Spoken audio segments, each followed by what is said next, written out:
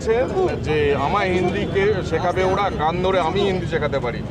আর প্রধানমন্ত্রী তো টেলিপ্রপ্টার থেকে গুজরাটিতে ভাষণ দেন নাম না করে। দেখুন, মমতা বন্দ্যোপাধ্যায়ের মানে মস্তিষ্কের স্থিতিশীলতা কোনো প্রশ্নচিহ্নের সামনে দাঁড়িয়েছে নিশ্চয়ই।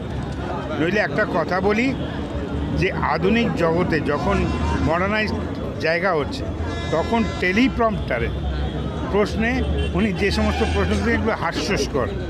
কিন্তু তার জনপ্রিয়তা যে তলানিতে গিয়ে ঠিকেছে, যেভাবে হোক নির্বাচন লড়তে হবে, তার জন্য ইলেকশন স্ট্র্যাটেজিস্টকে নিয়ে আসতে হয়েছে। নরেন্দ্র মোদীজিকে নাকি নির্বাচনে ছিলেন, বহু নির্বাচন করেছেন, আজকে পিকের আশ্রয় নিয়ে নির্বাচনী বৈতরণী পার করতে হচ্ছে।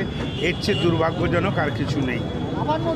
আর ভাষাভাষীদের কথা বলতে গিয়ে ভারতবর্ষে বহুবিধ ভাষা আজকে প্রত্যেক কোটি মানে পঞ্চাশ কিলোমিটারের মধ্যে ভাষার পরিবর্তন হয়, সংস্কৃতির পরিবর্তন হয়, ধর্মের পরিবর্তন হয়, তার মধ্যেই সবার সমন্বয়ের মধ্যে ভারতবর্ষের এতগুলি অঙ্গরাজ্য নিয়ে ভারতবর্ষ একটা দেশ।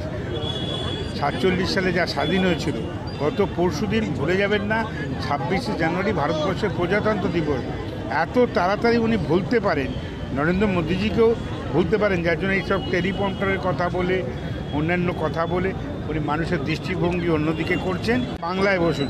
আগে একদিন শুনছিলাম কথা তেরোটা না চোদ্দোটা ভাষা। আমি এটা জানি ওটা জানি সেটা জানি ওটা জানি ওটা জানি।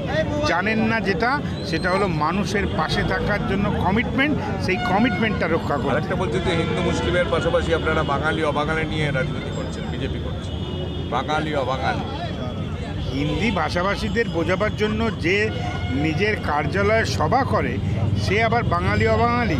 কখনোই ভারতীয় জনতা পার্টি কোনো দিন একদিনের জন্য বাঙালি, অবাঙালি কোনো সংস্কৃতি নিয়ে আসেননি। বরং পারলে তারা চেষ্টা করেন বাংলা ভাষাটাকে বোঝবার।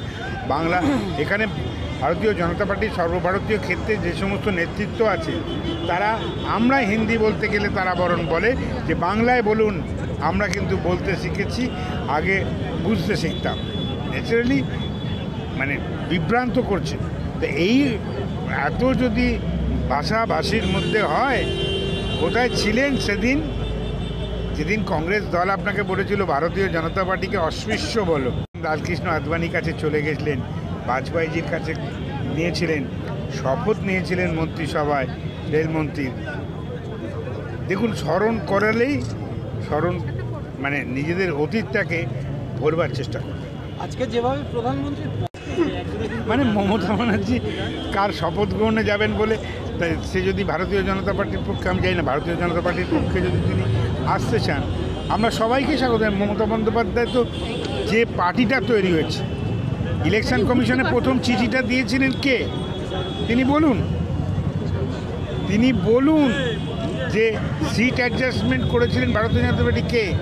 তিনি বলুন।